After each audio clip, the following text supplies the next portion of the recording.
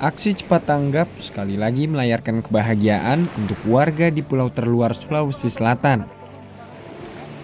Kali ini tepatnya di Pulau Lantang Peo dan Pulau Lebo Talua, Kabupaten Takalar, Sulawesi Selatan.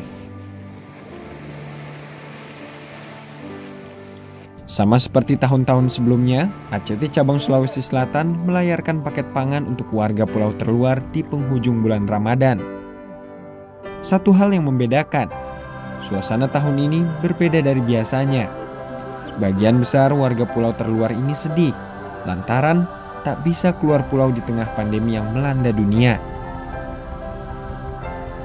Mereka pun telah terisolir selama berbulan-bulan karena COVID-19.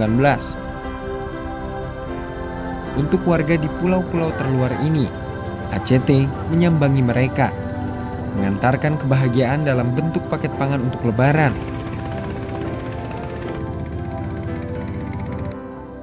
Ratusan paket pangan dari kedermawanan bangsa berlayar sampai ke pelosok kepulauan Kabupaten Takalar.